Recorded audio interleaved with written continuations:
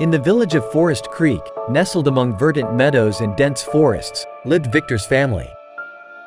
They were simple people, honest workers of the land, cultivating various crops and tending to their animals.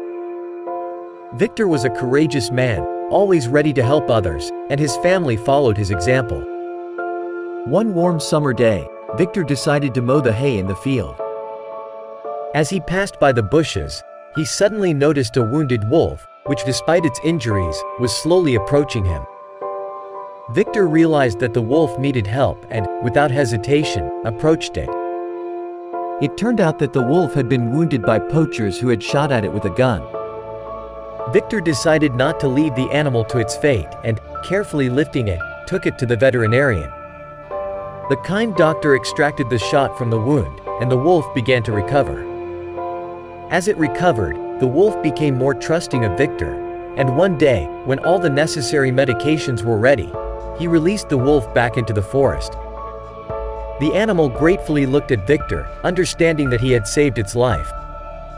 Meanwhile, Anastasia, Victor's wife, and their children went into the forest for mushrooms.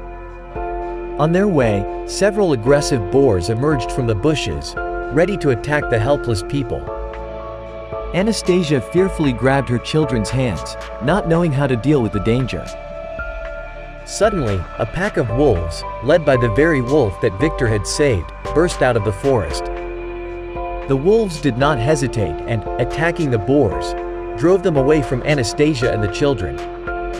The pack of wolves guarded them until the danger had passed. Anastasia and the children thanked the wolves for their bravery and loyalty.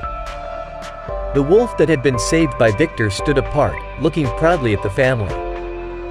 At that moment, they all realized that in this world, kindness and loyalty had not been forgotten qualities, and that it was mutual help and compassion that made us true families, even if those families were not always made up of the same species.